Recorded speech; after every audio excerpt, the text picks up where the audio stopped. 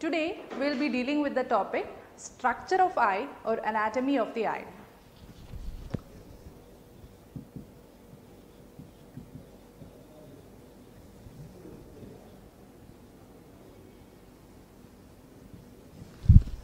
First we will study about the walls of the eye and then its internal structures. Okay.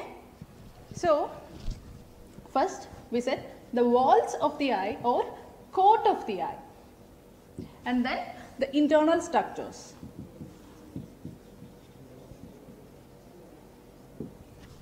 So, I am just taking the eye from here and putting it over the wall. So, how it will be? Now, I am drawing the outermost coat or the protective coat of the eye. This is the outermost coat of the eye and this is known as sclera. Actually, this posterior most 5 by 6 area is known as sclera. This is the protective layer of the eye or the outermost layer of the eye and it is an opaque layer and it's a very tough membrane or a very tough layer and it is known as sclera. It lies in the posterior 5 by 6 area of the eye. Okay? And in anterior 1 by 6 area, here we are having a transparent membrane and it is known as cornea. Okay? So now we studied about the outermost layer of the eye that is a protective layer of the eye and it is having two parts. The first one is sclera. The posterior 5 by 6th area of it is known as sclera and the anterior 1 by 6th of the area it is transparent and it is known as cornea. Clear? That is the first or outermost coat of the eye. Its duty is to protect the internal structures. Then comes the second layer or the middle layer of the eye. So, I am drawing the second layer. It just lies inside this sclera or the outermost layer. This is the second layer. It is a vascular layer. It is having high blood vessels. So, it is a vascular layer and its duty is to provide nutrition to the eye. So, it is also known as nutritive layer of the eye. It is a highly vascular membrane. So, there will be so much vessels or blood vessels going into the eye. So, it provides the nutrition to the eye. It is known as uveal tract.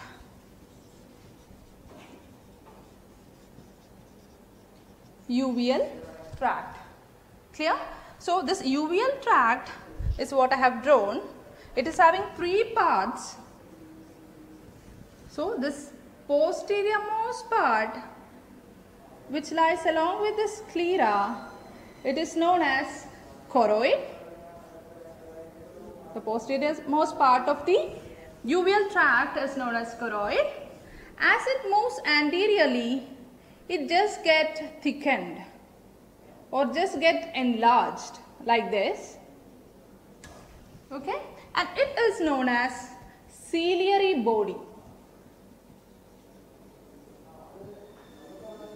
It is known as ciliary body. So, the choroid is moving forward and at the anterior side it just get thickened and it is known as ciliary body and a small vascular diaphragm like structures just extends inside the eye. Okay? This is the vascular diaphragm like structure that is extending inside the eye and it is known as iris. It is known as iris. So now we are studying about the second layer of the eye or the vascular coat of the eye. It is the middle layer. Its name is uveal tract. The posterior surface of this uveal tract it is known as choroid and as the choroid moves forward it gets thickened and this thickened area is known as ciliary body. Then a vascular diaphragm just extends from this ciliary body to inwards and that is known as iris. I think the middle layer is clear now. Now we are going to the third layer or the most important layer of the eye. It is retina.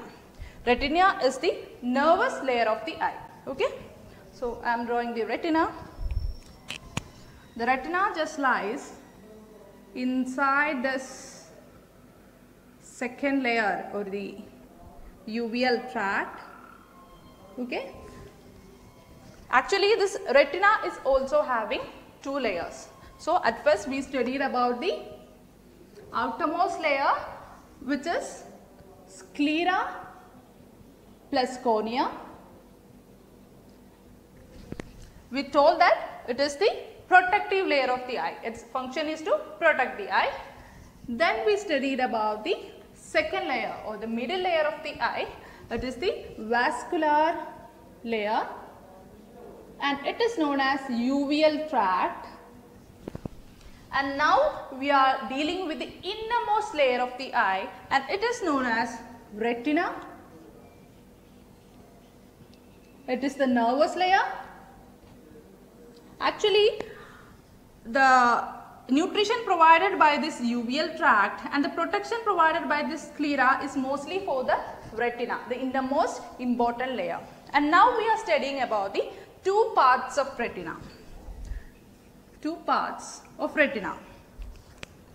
So, this one thing that I have drawn which is closely related to this choroid is known as pigmented layer of retina. That is pigmented layer of retina. Okay. It is highly pigmented and it is having a close relationship with the choroid or the underneath layer. Okay. It will extend along with the choroid, moves forward and also will be present behind this ciliary body as well as behind this iris. Clear? This pigmented layer of the retina moves along with the choroid inside and then moves anteriorly behind the ciliary body as well as behind the iris. That is what pigmented layer of retina is. The second layer is known as it is the sensory layer of the retina or we can say it is the neural layer of the retina. So, it lies inside, it is the innermost layer and it lies inside this pigmented layer of the retina. Okay, I am drawing it in a black color. Okay, this is the innermost, the sensory layer of the retina or nervous layer of the retina. So, here, sorry, neural layer of the retina. So, I am just dividing this into two, okay, the eye into two. Just consider, I am just dividing it into two. This one is the corneal section and this layer, can you see? I will draw it in a different color so it will be much more clear.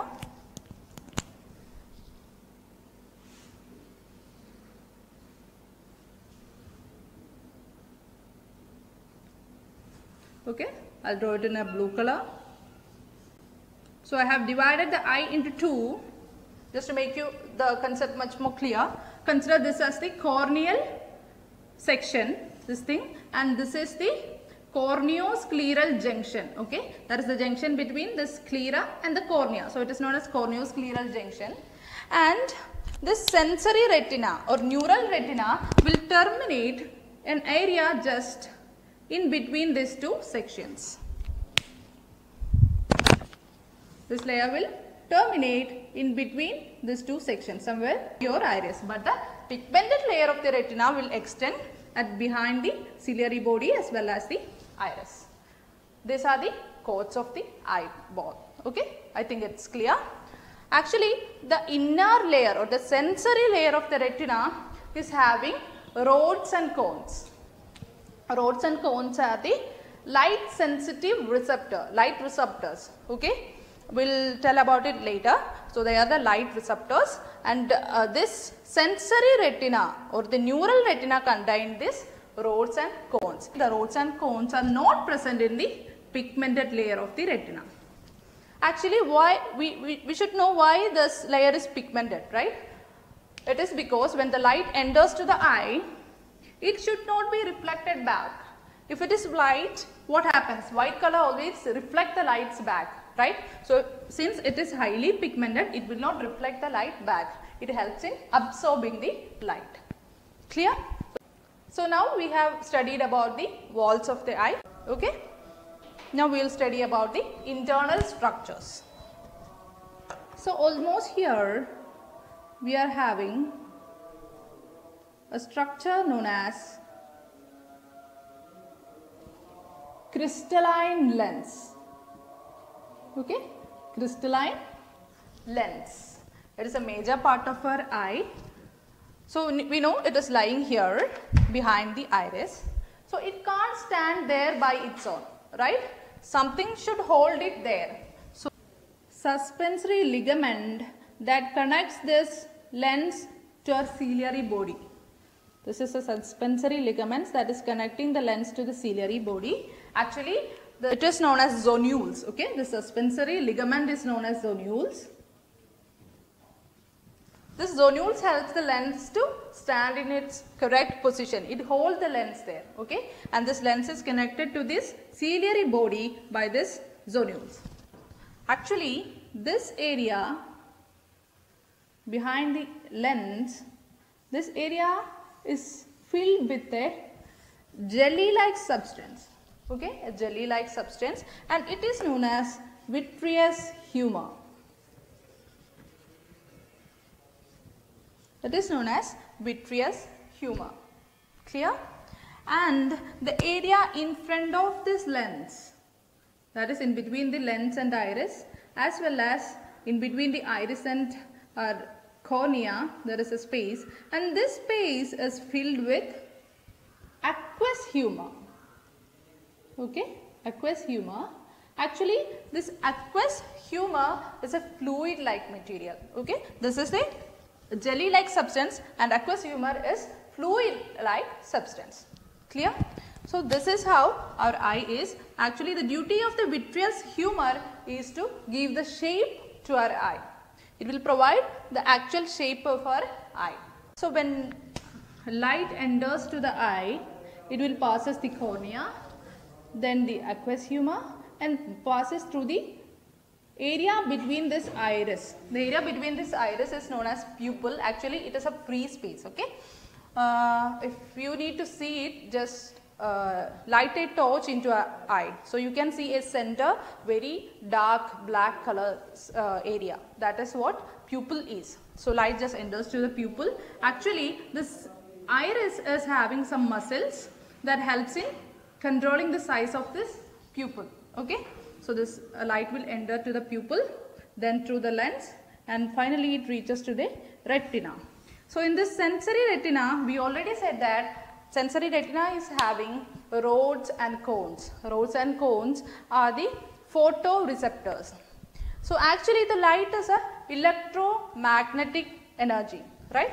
It comes in electromagnetic spectrum. So, it is an electromagnetic energy uh, as it moves inward and reaches to the rods and cones, what happens is that it just convert this electromagnetic energy into electropotential energy. Okay, and uh, the main duty of rods and cones is that that uh, it will uh, convert the electromagnetic energy to electropotential energy, and this is transferred through our optic nerve to our brain or central nervous system. Clear? From here the light detection will be possible. Now we are going to study about the blood supply. Okay?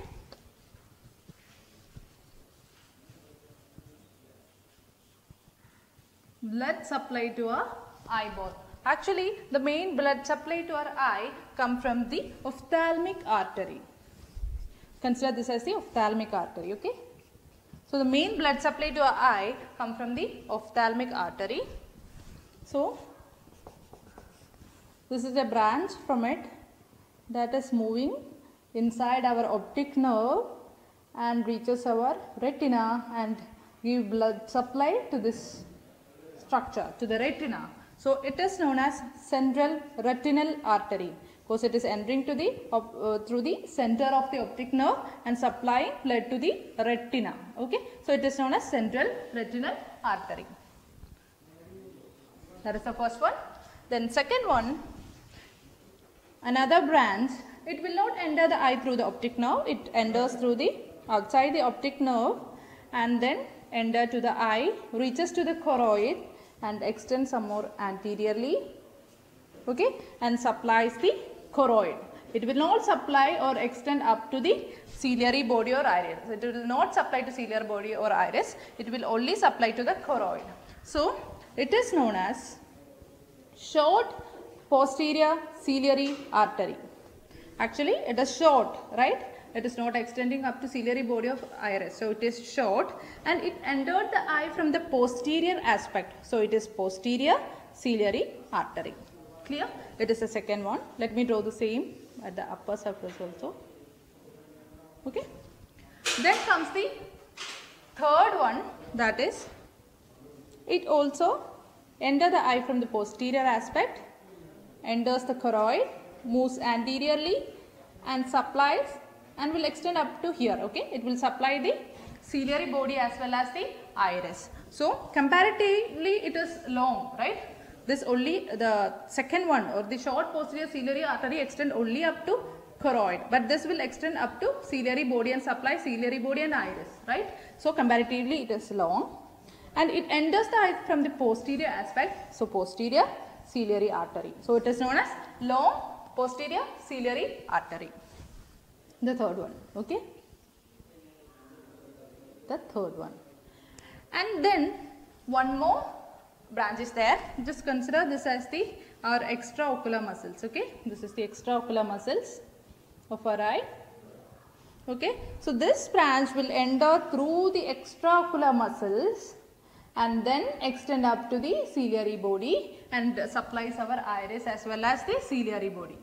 So, this is entering to our eye from the anterior aspect, right. So, it is known as anterior ciliary artery. The fourth one is anterior ciliary artery. The first one was central retinal artery because it entered to the eye through the, uh, the center of the optic nerve and supplies the retina. Then came the short posterior ciliary artery. It enters from the posterior aspect and it only uh, supply the choroid that means it is short. Then comes the long posterior ciliary artery because it enters from the posterior aspect and then it extends up to our ciliary body. Clear? Then comes the anterior ciliary artery because it enters through the eye through the uh, extraocular muscles or anterior aspect and supplies the ciliary body and also the iris. This is the basic structure of the eye and its blood supply. I think the topic is clear. Today we have studied about the walls of the eye and the structures inside the eye that is the internal structures. We have just studied about the basics of it and then the blood supply. So this is altogether a small description of our eye or the anatomy of the eye. In the coming classes we will be studying about each parts in details. Till then bye.